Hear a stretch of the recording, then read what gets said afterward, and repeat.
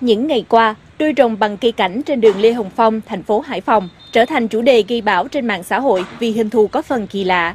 Theo ghi nhận của phóng viên báo Thanh niên, đôi rồng này được tạo hình từ cây xanh cắt tỉa và đã được đặt cố định ở trên đường Lê Hồng Phong từ lâu. Năm nay, đôi rồng này được gắn thêm hoa giả màu vàng để trang trí đón Tết Nguyên đán Đinh Dậu 2017 và gây được sự chú ý.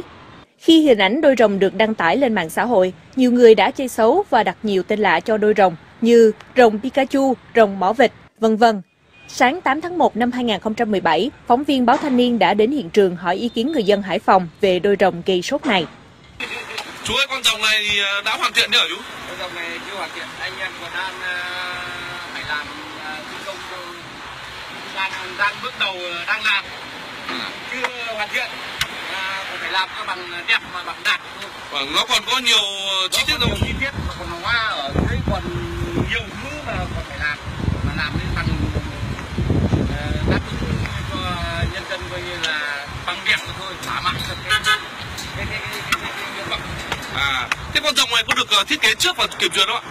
con rồng này là trước đây là cây cây xanh à, là, là hoàn toàn của nó là, là cây xanh xém và, và xén tỉa và tạo thành con rồng nó đã có có từ trước này đây rồi đúng không? Bây giờ chỉ mình trang trí thêm vào thôi ạ. mình chỉ trang trí nhưng mà mình trang trí là uh, cho nó đẹp lên và cho nó nổi lên để Vâng, cháu cảm ơn chú. Anh anh thấy con rồng này thế nào?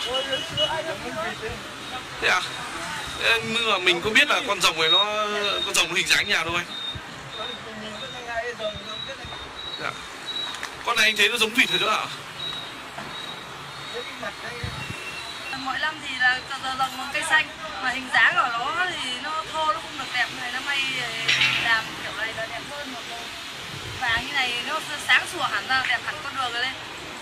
À, cô nhận xét con rồng này thế nào? Con rồng đẹp sáng sủa sáng sủa con rồng vàng sáng sủa như này là như cái dấu sáng sủa nó đẹp Tức là cô chưa bao giờ nhìn thấy con rồng thế này. À,